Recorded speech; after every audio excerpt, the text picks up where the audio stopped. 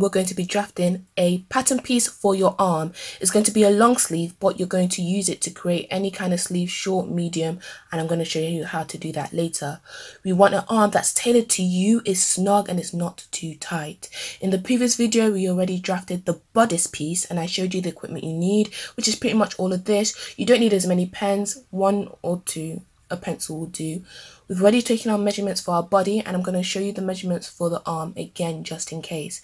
You want to take your hand width, your bicep circumference all the way around and you want the bicep to your arm side. I hope I'm saying that properly, I don't know if I am, but the arm side is the start of the armhole. You also want to take the arm side measurements. Now with all your measurements, you don't want them to be tight. You want them to be exact. But for the arm side, you can tighten it a bit. Don't make it uncomfortable, but you need that flexible measurement because it is the most fluctuating measurement I've noticed. You also want your arm length. In the clip, I didn't bend my elbow, but I advise you to do that. You want that full length. You want to measure your elbow to your arm side, your elbow length. Optionally, you can measure your elbow width and your wrist width, they're not important, but they're good to note down. Take a piece of paper that's wider than your bicep circumference and longer than your arm length. Then fold it. That fold is going to mark your midpoint. It's going to help you draft the front and the back of the arm because they're slightly different. Give yourself some space at the top. I gave myself about an inch and then drew a guideline. From that guideline, you're going to mark your full arm length and then you're going to mark down the arm side to the bicep length. I then marked those points along in a couple of paces so that when I drew the guidelines, they're going to be precise. Then go to the bottom line and you're going to mark on your hand width, not your wrist, your hand width. My hand width was about 8 inches, so I marked half on both sides of my midpoint. You're going to do the same thing for your bicep circumference, half on each side. Now you want to be able to move your arm freely pull it up, pull it down. So we're going to add an inch to the end of both sides. Once done, you're going to connect that to your hand width points. Then you're going to draw a guideline to the midpoint of the top of your arm. I'm going to switch out my pen because I don't want this to be bold, it's just a guideline. We're going to use this to draft the entrance of the armhole, your arm side. At this point, I decided to mark on all the measurements I used so that I knew which one was the front and which one was the back because that's going to help you with the next couple of steps. Now, for the front and for the back, what you're going to do is you're going to take the difference here at the bicep and divide it by 4. So mine was about 17, so I just halved it and halved it again. Then you're going to draw a line going straight up from those four points because they're going to help us know how to properly draw the curves. Once you've done that for the front, you're going to turn it around and do the exact same for the back. You want the front to be the most curved. You need a bit more movement at the front because of the curves at the front of your body. Line up your ruler to the diagonal you drew previously and add about an inch to it. Then move it to the middle line and add about three quarters of an inch, which is about 1.5 centimeters. Then move it to the final line, and this time you're going to dip it in. I'm going to dip it in about a quarter of an inch, which is about 0.7 centimeters.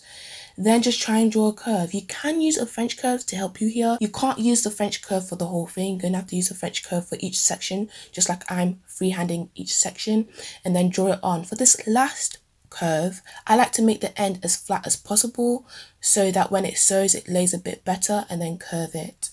Now we're going to do something similar to the other side but the measurements are not as pronounced. Match up your ruler to the diagonal and now only add about 3 quarters of an inch which is about 2 centimeters. Then to the middle, you're only going to add about a quarter of an inch this time. And then for the final line, we're not going to actually indent it or increase it in any way. Then the same thing, try and connect them up as smoothly as possible to get that nice curve. What you want to do now is measure that curve and make sure it's actually the size of your armscye measurement. You want this measurement you're taking to be between the normal measurement where you're not tightening anything or over loosening everything, between that and the tightened version. If you find that it's too small or too big, there's two ways you can adjust it. The first way is to take in the curve if you want to reduce the measurement or increase the curve. The next way is to check the distance between your arm side and your bicep First, make sure your measurement is correct. If it is correct, then you probably have about half an inch flexibility you can add or remove without making it too big or too small for your actual measurement. To take this black line and lift it up or pull it down and then redraw the curve using those four guidelines. I'd advise you to use the second method as a last resort, so the first method should be okay. Once you make an adjustment, make sure to check it that it's okay. And also double check with your bodice arm. Measure your front bodice and your back bodice armhole and make sure it matches your pattern for the arm. Then you can cut out your piece, making sure to follow the final curves that you've decided. What I then did was measure my elbow length and then mark on my elbow circumference and my wrist circumference and join those up. I'm not going to use that when I'm cutting out a long sleeve, but it's there so that if I want to make a short sleeve or something more tailored, I know which lines I need to use instead. Now in the next video, I'm going to show you how to correctly add seam allowance because this was a basic pattern because from it, hopefully you can manipulate and make special arms with creasing and patterns and pleats. But in the next video, I'm going to show you how to add seam allowance for your arm and for the bodice and how to transfer the darts well and make extra little tweaks as well as showing you how to actually draft from your pattern and read things correctly. So I hope you enjoyed that video. Like if you liked it, comment if you have a comment, move on if you want to move on. And of course, I want you to remember you are wonderfully created.